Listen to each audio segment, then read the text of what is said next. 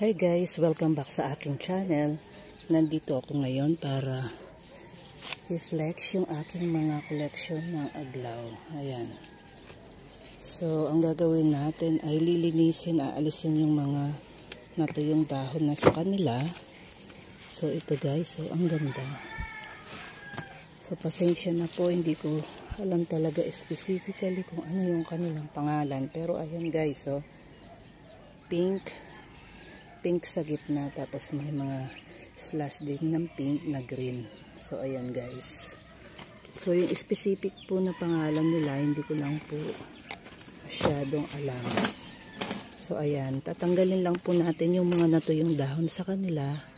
Ayan din po yung mga. So isinama ko sila sa hilera ng aking mga bonggambilya so ayan. Dati po nandun sila sa isang spot ng garden. Pero dito, ginawa ko, nilagay ko kasi hindi ko po napapansin na marami na pala siyang tuyong dahon. So, ang gagawin ko lang guys dito ay tatanggalin ko lang yung mga tuyong dahon dito. So, ayan. Ayan din yung isa. Ayan yung kanyang dahon. So, yung una, ito yung kanyang dahon guys. So, tapos yan. May mga splash-splash. Itong dami niyang splash ng pink. So, ayan guys. So, ito pa. So, ayan. Tatanggalin ko yung mga tuyong dahon nila dito. Dahil sa nandun lang sila sa isang sulok na pinagsama-sama ko, hindi ko na nakita na, hindi ko na masyadong napapansin na marami na silang tuyong dahon. At marami din mga ligaw na damo. Ayan guys. Ayan. Ayan guys, yung kanilang mga tuyong dahon. Marami akong ayan, ayan yung mga lahat. Marami akong mga collection ng aglaw. So, pasensya na guys. Di ko lang gaano alam ang kanilang mga pangalan. Ayan. Di ko alam kung ito same lang nung dalawa. Ayan guys. So, next natin guys. So, ito. So, ito yung susunod. Ito yan. Ito guys yung kanyang dahon, no? Ayan. So, ayan. Meron na siyang ay, may flowers. Uh, yung mga flowers nila, guys. Tika, ako, tinatanggal ko yan. Kasi, nakakaagaw pa sila ng sustansya sa puno ng aglaw. Kaya, pag sa akin, tinatanggal ko po itong uh, mga, ayan, no? Yung flowers nila. Ayan. Kasi sa mga aglaw, mas maganda yung kanilang dahon. Kesa sa flowers. Kaya, ayan ang dami ng flowers. Kaya tinatanggal guys ito. Para hindi na sila makaagaw ng sustansya sa ating aglaw. Sa mismong mga dahon nila. Kaya ako guys, tinatanggal ko yung kanilang bulaklak. Pero sa mga iba na gustong i-retain, so okay lang po guys. So ayan. So tanggalin na natin yung mga old leaves nila. Mga old leaves na po ito guys. Ayan. So ayan. So ito, ito malaking puno na siya. Ay malaking mga ilang puno na pala siya. Ayan, nasa isang malaking paso. Ayan, meron pa siyang isang sunflowers doon. Ayan guys. So ito, tanggalin din natin yung mga tuyong dahon nila. Ayan, nagsituyo na yung mga ibang mga dahon nila. Ito mga old leaves naman yung mga to. Kaya, ayan. Nagkakahapdahon naman ng panibago. Ito, meron na siyang mga babies. Ayan. May mga babies na siya. Ito yung kanyang mismong puno guys. So yung next natin, ayan. Ayan, yung mga damong ligaw, tanggalin natin. So mamaya, didiligan natin lahat yan. So ito, ayan. Ayan. Ayan guys. Alisin ko na yung mga old leaves nila para magkaroon na sila ng panibagong mga dahon at sanga. So ito guys. Alam ko ito Doña Carmen ata ito. Ayan. So ayan guys. Hindi ko lang alam yung mga specific na pangalan nila. Basta mga aglaw lang ang aking alam na mga pangalan nila. Ayan guys. So ito oh, ang ganda niya. Tanggalin na natin ito kasi natatanggal na siya. Ayan guys. So ayan oh. Ayan kanyang dahon guys oh. Yung mga aglaw kasi mga dahon pa lang ay ang gaganda na. Ang gaganda ng kanyang mga dahon. Ito, lash na siya. So tatanggalin din natin guys yung mga tuyong dahon nito. Ayan yung mga natuyo sa gilid-gilid. Lilinisin natin. Ayan. Ayan guys. So ang next natin ito. Ito, malaki na siya guys. Ayan o. Oh. Marami na siyang ay may tatlo siyang puno. Tatlong puno sa isang Ayan, alisin na. Ayan, tatlong puno siya guys. Ayan. Sa, ay, apat. Meron siyang apat na puno. Ayan, 1, 2, 3, 4. Ayan. Tanggalin lang natin yung mga nato yung dahon. Yung mga Ayan guys. So ito, ang ganda nito.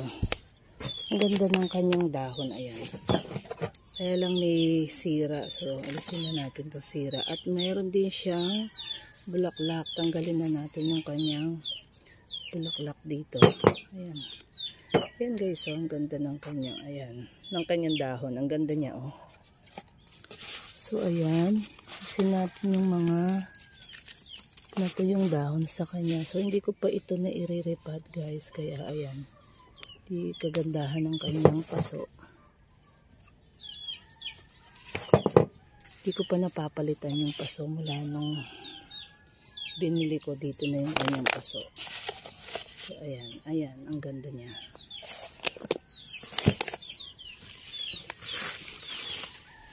So, ito. Humaba na yung kanyang ayan. Humaba na yung kanyang sanga guys. Ayan o. Oh. Ayan. Nag-side. Tanggalin ko lang yung mga tuyong dahon. Ayan. Ito tuyo na to old leaves na to old leaf na to yan mga old leaves ang galing natin ayan guys so ayan na siya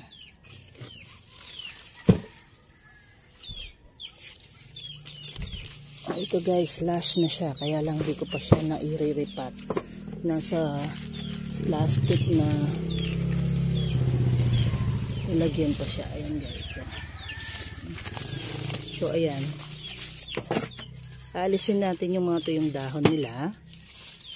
Ayan. Kasi mga old leaves na rin itong mga to na natuyo. Ayan. Ang dami niyang hindi ko pa siya na iriripat din. Wala nang binili ko. So, ayan. Ayan siya. So, iriripat ko ito guys kasi punong-puno na yung kanyang ayan na Ayan yung kanyang lalagyanan. Punong-puno na siya. Yan. Mula nung nabili ko yan, ganyan na dito, dito na sa paso na yan. Di ko pa siya na i-repat. So, ayan guys.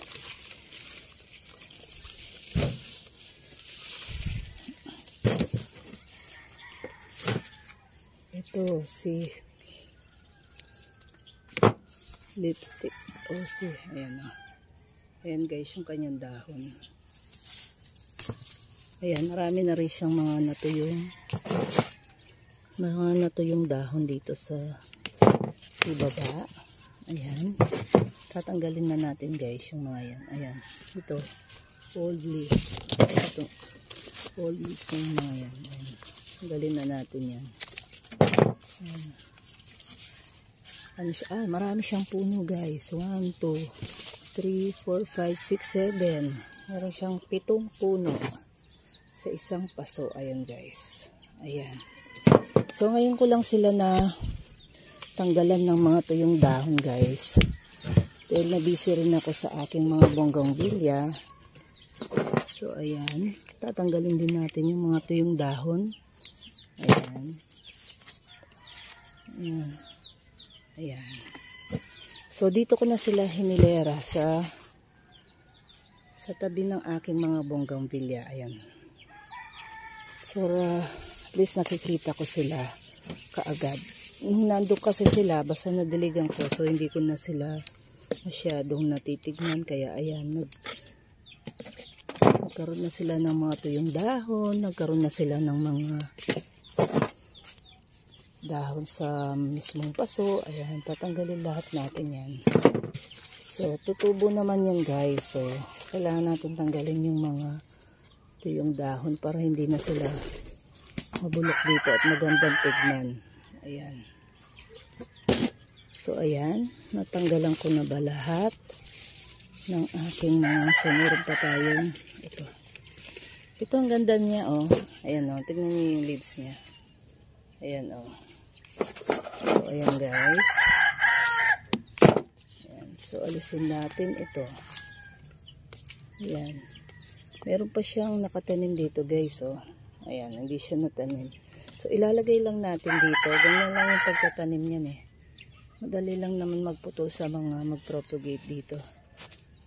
Kaya lang, wala nga akong oras para, ayan, ganyan lang sila. So, tatakpan ng konting lupa. Ayan, guys. So, ito. So, ito yung last. So, hindi pa ako nakapagdilig dyan, guys. Ayan. Kaya tuyo pa sila. Tuyo pa yung kanilang lupa. Pasensya na guys, marami kaming mga alagang manok dito kaya ayan, naririnig nyo yung kanilang pagtilaok.